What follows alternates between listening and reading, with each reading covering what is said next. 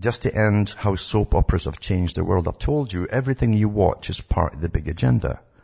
BBC soap operas are often celebrated for contributing to the good of society. They admit they're addictive though because they're meant to be.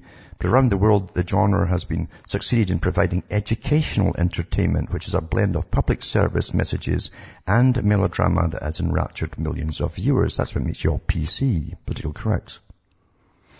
Uh, so he gives you an example here. Harry Oakes as Dan, Gwen Berryman as Doris Archer in The Archers, which is widely thought to be the longest running soap opera in the world.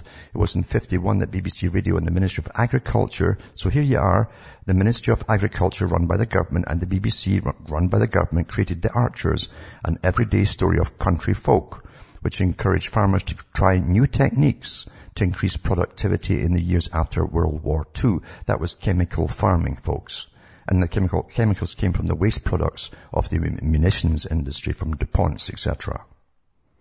Says, why soap? Well, the genre was christened in 31 when the first radio series Clara, Lu and Em attracted the attention of detergent manufacturer Colgate Palmolive. The daytime series had a long following amongst housewives of Colgate Palmolive, who became its sponsor, using it to advertise detergent. It's one thing to read a, a persuasive argument in print. It's quite another to be persuaded by the power of the human voice, says Andrew Crisell, Professor of Broadcasting Studies at the University of Sunderland in UK. What was challenging was getting the message across without people feeling they're being harangued or preached at. They just put it in the soaps. What are you using there, Dora? Oh, it's Palmolive. My, your skin looks so soft and lovely. And that's how you get stuck on it. There's a lot more goes into soaps than that. Everything that's politically correct for updates is in there too. And your comedies, and in your movies.